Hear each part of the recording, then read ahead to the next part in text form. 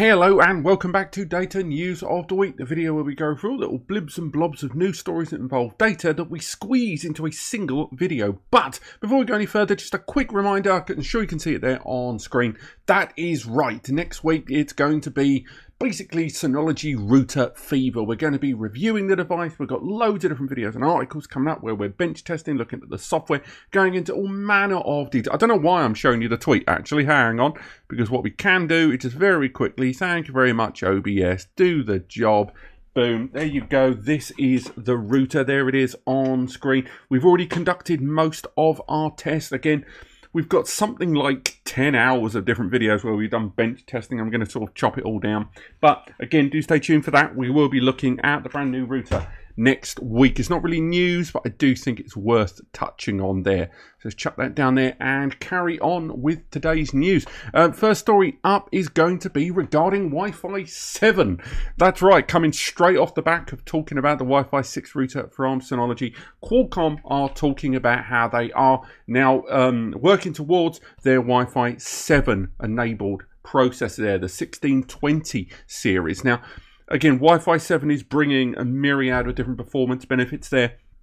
Again, some of the performance they are talking about I will be very surprised if we see any client devices getting anywhere close. That do bear in mind, even with Wi-Fi 6 or even Wi-Fi 5, whenever you hear people talking about the bandwidth and they start talking about how it's rated in this case for like 33 gigabits per second connectivity, uh, do bear in mind that again, that is shared bandwidth. That's not going to be point to point. So uh, the big advantage is really to take on board, and I don't know if you saw that graphic there, is going to be just how many active full profile streams there can be. So if you see there uh, in the purple, you can see, and we talk about this a little bit in the review of that router over there, self-plug again, um, the 160 megahertz band there, which Wi-Fi 6 uh, and indeed 6E has access to, allows you to have that much larger spread across the frequency there. Um, and that means that in Wi-Fi 7, not only can you get even more active streams of that caliber at once,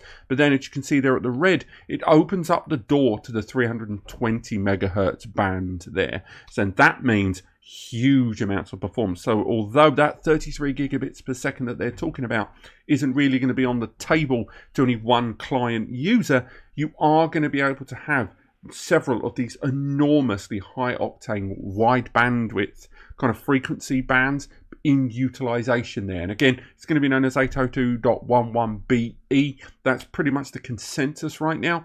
And again, there's lots of different news articles about uh, Qualcomm's uh, kind of uh, detailed proposal on this controller that I recommend you check out because there are some other things about uh, anti-congestion measures and Wi-Fi 7 that are really worth your time and looking into since this big announcement.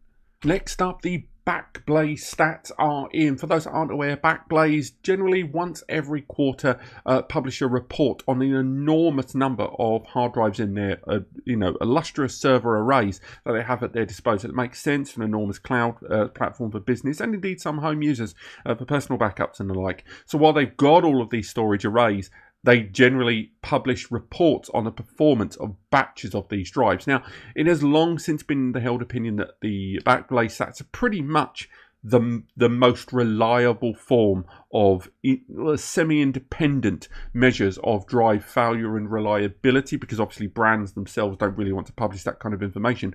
But it's all very contextual because there isn't an equal measure. There isn't 5000 of one drive 5000 of another 5000 of the other running side by side. Generally the times overlap the frequencies overlap and therefore the stats as useful as they can be have to be taken in context. So why am I bringing up the Backblaze stats? Not the first time I brought it up on the news. A couple of reasons. One, they detail some of their most high performing drives right now from each of the brands, uh, which if you scroll down to the bottom is all kind of listed there with the highest performing drives from each brand, such as in the UltraStar model, it's the 12 TBs, the Seagate, the 12 TBs. They've really pulled it uh, together on these higher capacities, by the way. For a long while, the higher capacities were kind of the biggest blunder drives, but at the moment, the most the drives that they've got the highest confidence in right now, as far as a less than one percent failure, is detailed there. But what's really intriguing, and again highly you know you know questionable, I think for a lot of people that would call this news, I bloody love the May the 4th Star Wars effort that has gone into this article. If you are